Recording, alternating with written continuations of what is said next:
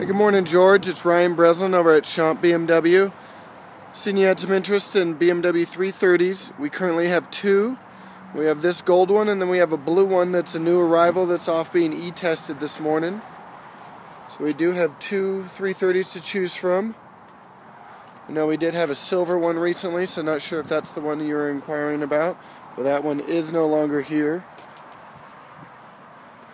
Give me a call once you get this. Let me know if it's something you'd like to come down and see in person or if I can get you any more information on it.